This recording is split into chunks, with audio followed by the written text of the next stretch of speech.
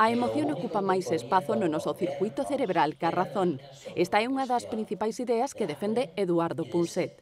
Hemos descubierto que en lo que tanto nos habíamos ensañado, que eran las emociones, la vida emocional, el aprendizaje de, la gestión emocional, uh, era, era moi importante, era máis importante que a razón. Punset visitou por primeira vez Lugo convidado polo presidente da Deputación para falar dos retos do século XXI. Llevábamos tiempo detrás de que Eduardo Punset estuviera eh, aquí en Lugo y hoy lo conseguimos y yo creo que va a merecer muchísimo la pena. ¿no?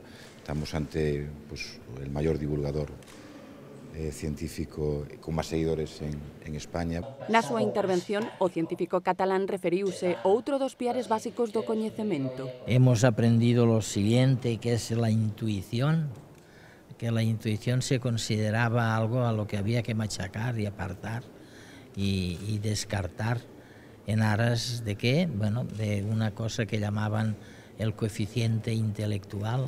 Punset falou das redes sociais diante das 400 persoas que encheron dous salóns do Pazo de San Marcos, sede da institución provincial. Las redes sociales son el tercer gran ladrillo puntal de, de, de, de esta invasión mm, de la cultura en uh, la vida social.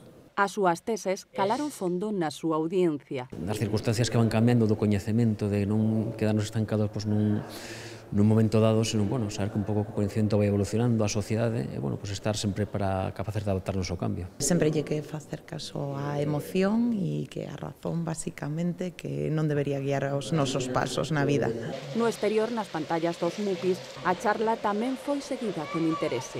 A min é un pouco referente, xa que estudio educación infantil, eh, no, observa, no, non asignatura que se chamaba observación e análise, pois sí que falábamos bastante de punseto, vemos algúns documentos mentais, no que daba moita importancia a escoita e pareceme un home moi interesante e que pode dar aportacións pois para a educación, sobre todo, bastante importantes. Bolseiros e profesionais da Fundación TIC realizaron a transmisión en directo da conferencia a través de Internet.